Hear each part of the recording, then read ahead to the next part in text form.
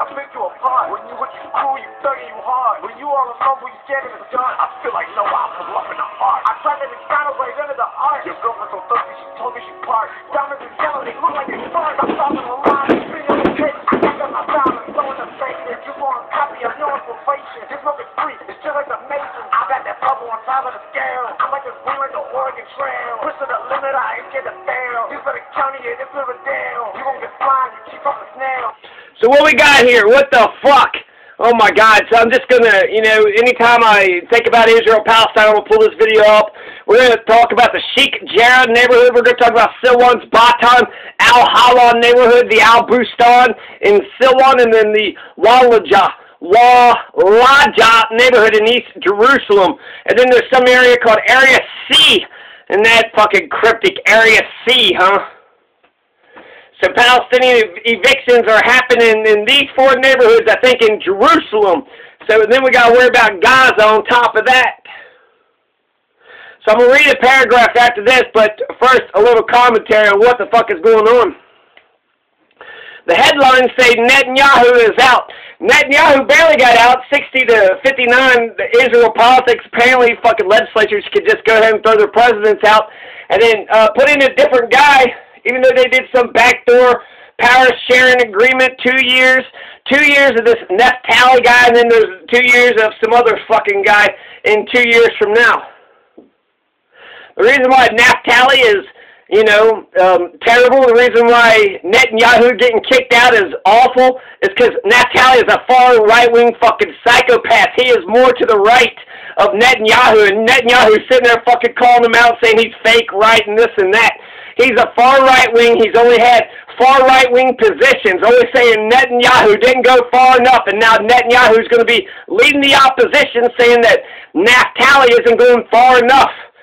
So Syria and Iran and Palestine, they're going to get attacked even more. We're going to see more Syrian attacks and Iranian and Palestinian deaths. This isn't just expanded settlements that Palestine has to worry about. Now Palestine has to worry about existence itself. The hypocrites, they always say, that the Arabs say that Israel doesn't have a right to exist. This Naftali Bennett says that, you know, Palestine doesn't have a right to exist. He says one state, Israel. Israel is all that there is. There is no Palestine. So he isn't just saying, okay, Israel, build houses on Palestinian land and then demolish Palestinian houses. He's saying, this is all Israel's land. Palestine don't have a right to exist. Their people, their nation, none of that's even real. It's all Israel. So the Israeli-Palestinian situation just got shittier. I want Netanyahu to come back. This Naftali is fucking bad news. He's to the right of Netanyahu, and just because he's got some coalition with, you know, a couple Arabs or some shit, I'm supposed to believe that his far right wing bullshit, his far right wing bullshit, he's part of the fucking armed forces. He's been, you know, killing uh, Palestinians and fucking Lebanese left and right, you know, pretty much his entire goddamn life.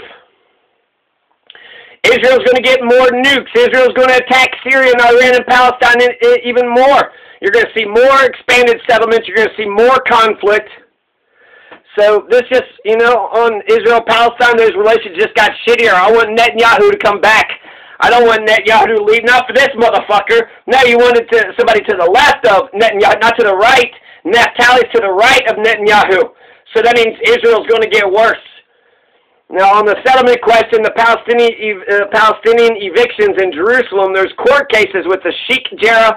There's a Sheikh Jarrah neighborhood, 28 families, Silwan's, Batan al Hawa, that's 700 Palestinians. The Al Bustan in Silwan is 1,000 Palestinians.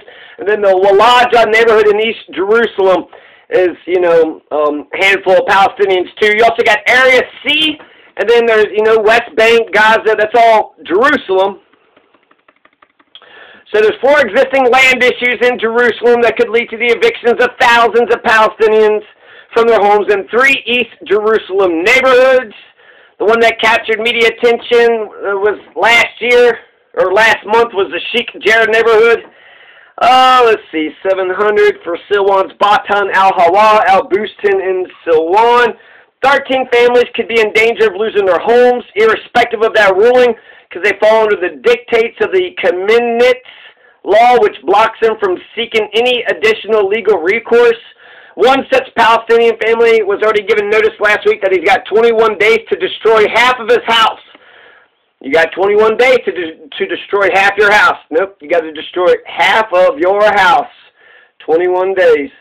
21 days. Nope, destroy it. And then otherwise the municipality would knock down that portion of it. But you destroy it or we will. So it's a demolition that could spark violence pending evictions at neighborhood international scrutiny. The Walaja neighborhood. You got the Walaja neighborhood. The right has viewed each of the cases as land issues. The ones in Al Bustan and Walaja involved municipal plans for parks. The case uh, cases in Sheikh Jarrah and Batan Al Hawa involve property disputes between Palestinians and Jews, but they're seen within the larger context of the Israeli-Palestinian conflict and placed within the prism of the battle for sovereignty in Jerusalem, with the left and the Palestinians believing that eviction or in, an attempt by the city to seize control of Palestinian neighborhoods for Jewish projects and residents.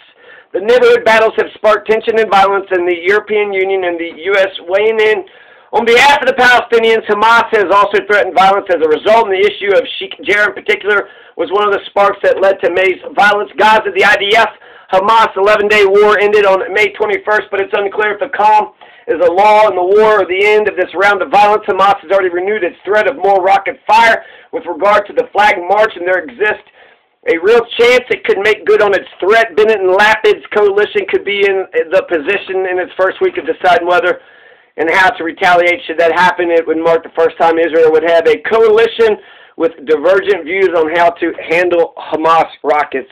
Don't hold your breath. Don't hold your breath. I think this Naftali's worse. This Naftali is motherfucker worse. He's clearly, you know, pretty good power broker or what have you. He was able to get some motherfuckers convinced he's, you know, um, fuck somehow to do what he wanted, but we're going to see what happens. But I don't, I don't feel good about Naftali. Everything that he said, he's been doubling down about how fucking right wing he is. He comes out of, he was the chief of staff of Netanyahu's court, so he comes from Netanyahu's, you know, uh, actual fucking upbringing and grooming and shit. So he probably has nothing but whatever. So Netanyahu, Naftali, uh, you know, between the two, I would have voted for Netanyahu. I mean, Naftali, this motherfucking right-wing fucking psycho. No, before I could vote for Naftali, he would have to say, look, two-state solution. But they don't even respect America's position. America says, hey, Israel, two-state solution. Israel says, go fuck yourself, America. And America goes, okay, here's $4 billion. Nah, that's fine, Israel. You can talk all the shit you want. Here's the 4 billion. Here, we'll just keep paying for all the fucking